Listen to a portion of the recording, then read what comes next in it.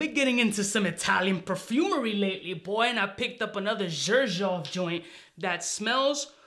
Let's show my motherfucking music so we can chitty chat about this piece. Sexy motherfucker.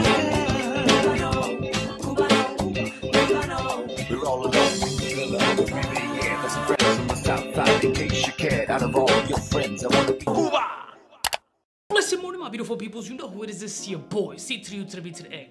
Whenever you mention Xerjoff, I don't know why this fragrance always came up, and I never got my hands on the bottle. It's very expensive. Most Xerjoffs are super expensive. So whenever you come across a website and you get a little 20, 30%, if even that's the case, I would go ahead and jump right on it or buy pre-owned or half-used bottles. If I could find a dope bottle that's been sprayed fucking 38 times, I will totally cop that shit. Considering you got over 500 plus fragrances, ain't no shame in my game. Back this joint up and everybody was like, yo, this is the one you need to get. Yo, I think you would like this. Yo, check this out. This has been for years. Completely ignored it. Why? Because my bank account told me to ignore it. But I got it in hand and the fragrance is none other than by Xerjoff 40 Knots telling you, I love Xerjoff bottles, not just because of the presentation, but because of the double utility that these bottles have, and we've spoken about it before, it does wonders for the leather Cheerio. Now this fragrance, I've been told is a nice combination of like some dark woods and some sea salty aquatics.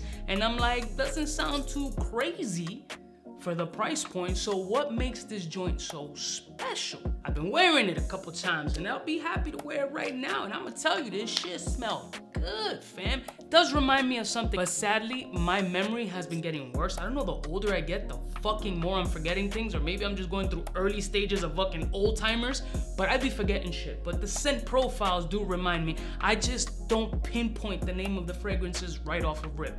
It happens to me quite often what am I gonna fucking tell you? Does smell like something else I know, but man, is it nice, salty, aquatic, and woody. It's beautiful. It's a really nice fragrance, has some greenery, has some medicinal vibes to it, but it just smells lively in summertime, but flexible for all seasons. So it's woody, green notes, salt water, aquatics. It has all those notes listed. But for me, I'm getting things that are a little bit different that aren't listed on the notes. I definitely get the salt water aspect. I get the aquatic aspect. You do get the woody nuance nuances. But for me, I'm also getting powdery and I'm getting ambery, sugary, sweet, wet woods, some earth, like some wet ground earth. And it has an all seasons capability. For the fact that it has that saltwater aquatic vibe for high heat, it must smell fantastic during the time that I've had this fragrance, so I haven't been able to test it out in that super high heat.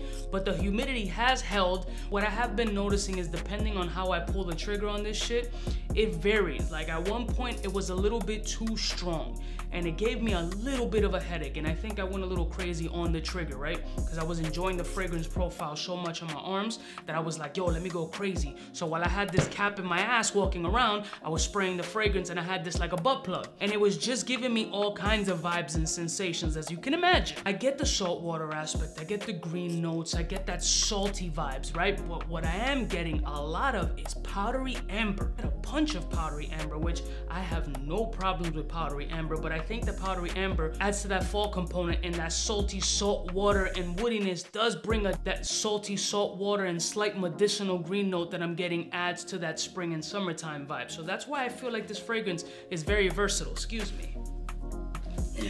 I don't feel like the fragrance is completely transitional. I, I feel like it does have a little bit of lin linearness is that a word? After the opening, the opening starts to just do its thing and just start switching up a little bit. But then after like a 15 minute point, it just relaxes into what it's going to be. And into my nose, it's more of an amber, salt watery, powdery fragrance with wet woods that has a nice substantial amount of sweetness, but might be a little bit crazy in the high heat if you overspray. That's my assumption. Because again, the overspraying in the humidity aspect was a little bit wild. And again, it gave me a slight migraine, but it wasn't something that I was like, ah, I can't wear this shit again. But what I also noticed is that on my skin, it wasn't a performance beast either. And that's probably why I jumped to the overspraying aspect because I have worn it a couple of times. And I felt that it didn't produce as much as I would want it to, especially for the type of price point that it is. But the scent profile was so enjoyable that I went a little wild crazy. And then that's when the fucking headache came in and it just, you know, uppercutted me. Here it goes. All in all, not to make this complicated, 40 knots I think is a beautiful fragrance. I really like what this fragrance does on my skin. I do wish it performed a little bit better on my skin, but the notes for me don't give it a clear picture. I feel that the ambery and powdery notes should be listed on the note breakdown because there's a lot of it, especially on the powdery ambery aspect. I mean, that should be put in there as well. Yes, you got the salt, yeah, you got the woods, yeah, you got the aquatics, yeah, you got the green notes, but powdery amber notes should be listed there. At least that's what I'm getting to my nose. So for me, this is absolutely a ball sprayer and a butt plug. Ah, nothing better than 40 nuts. I'll see y'all bitches next time. Let me know what you guys think of 40 nuts and any other from the JTC line that I need to get. And I'll see y'all bitches next time. You know who it is? Biggest in the game. Smooches.